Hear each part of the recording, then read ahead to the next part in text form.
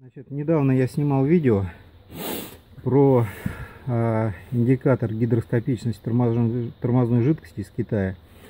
Значит, э, сразу у всех вопрос, что вот это такое? Да все просто. Тормозуха нахрен разъела пластик, все это рассыпалось. Вот, пришлось, э, значит, поставить два электрода. Вот, э, все это залить эпоксидкой, чтобы все это держалось и не упадало. Поэтому, а, кстати, поставщику я отписал, пока молчит. В общем, странная вещь а, получается, что а, сам прибор боится тормозной жидкости. То есть я делал всего один замер, после чего убрал. И когда достал это все дело из бардачка, я понял, что он разобран. То есть все пружинки, все выскочило, все щупы и так далее. То есть, то есть пришлось обтачивать, заливать, запаивать вот два гвоздика сюда, чтобы можно было как-то что-то мерить. Вот. А, в общем, к чему я сейчас это снимаю? Значит, у меня есть а, два флакона тормозной, тормозной жидкости, которые хранятся порядка двух лет уже. То есть, как бы, вроде запас не тянет, но я так думаю, что эта жидкость э, уже просрочена. Сейчас мы ее померяем. Давайте сначала сделаем замер в автомашине. Я уже, правда, делал, но еще разочек. Так, вот видите, да, тормозную жидкость я менял. То есть все нормально как бы.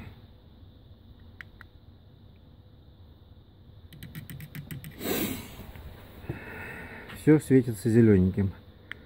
Так, теперь давайте попробуем, ну чтобы уж точно знать, что он работает. Найдем немножечко снега и попробуем окунуть его в снег.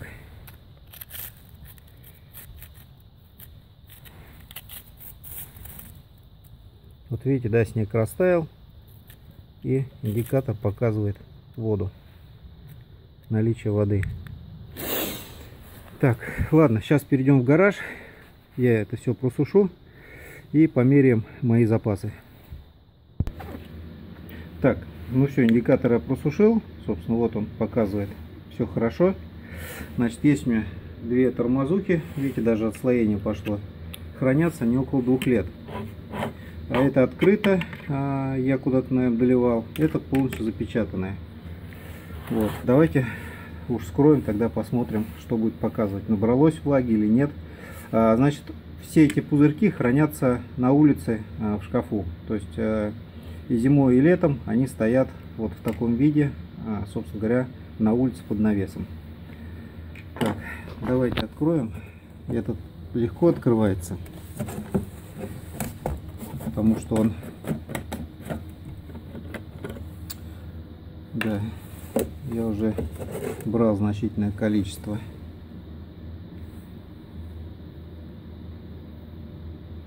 Я думаю достаточно будет.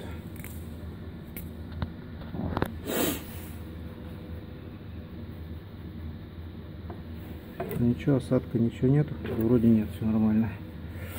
Так давайте померяем. Что у нас получается? То есть э, скрытая упаковка э, порядка двух лет. То есть ничем кроме пробки не закрыта. Включаем. Давайте посмотрим что у нас покажет индикатор. Вот видите есть влага. То есть в принципе да, в принципе, тормозной жидкостью можно пользоваться. Я не знаю, может быть ее просушить как-то можно, фиг его знает. Вот, но влага присутствует. То есть у меня в машине получается тормозная жидкость а, даже лучше, чем новая, которая находилась на хранении. Так, с этим все понятно. Ну, не знаю, одной рукой я сейчас открою или нет. А, полностью запечатанная. Сейчас, наверное, камеру придется выключать одной рукой. Так, и, собственно, это мы должны сейчас утилизировать. Сейчас, секундочку. Это мы утилизируем. Вот, и сейчас наберем из полностью запечатанного флакончика. Сейчас единственное, что я, наверное, не смогу открыть одной рукой. Нужно выключать будет камеру. Так, ну смотрите, я открыл. Очень интересно и неправильно. А, значит, ну, крышка, а, в принципе, закручивается не плотно. Вот. То есть ее можно всегда приоткрутить и все как бы а, будет запаковано вроде как. Смысл в чем? Нет а, защитной пленки, то есть не, не запаяна канистра. Естественно, я предполагаю, а, что влага могла а, набраться и в эту баночку, потому что все это вот, я говорю, что все это так. Вся эта пломба для вида. То есть вот она. И всегда можно было чуть приоткрутить, и влага наверняка могла туда попадать.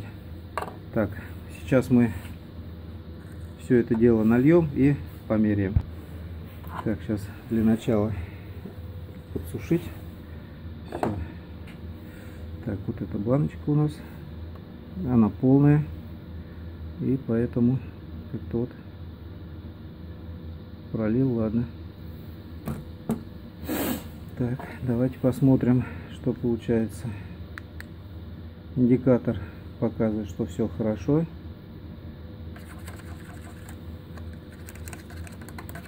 Да нет.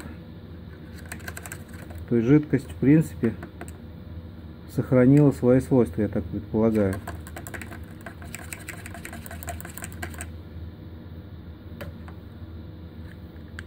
То есть в принципе ей можно пользоваться. Хотя я еще раз говорю, что а, она не была герметично запакована по кругу пленкой. Это настораживает, конечно.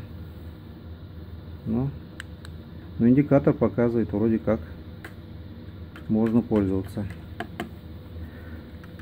Все, спасибо. В общем-то, старайтесь долго не хранить все эти дела. Всегда все можно купить в магазине. Вот. А если еще есть такой индикатор, то можно всегда выйти из магазина и проверить а, то, что мы купили. Потому что наверняка все эти жидкости могут тоже долго стоять на складе вот, и э, индикатор может показать э, наличие влаги. Все, спасибо.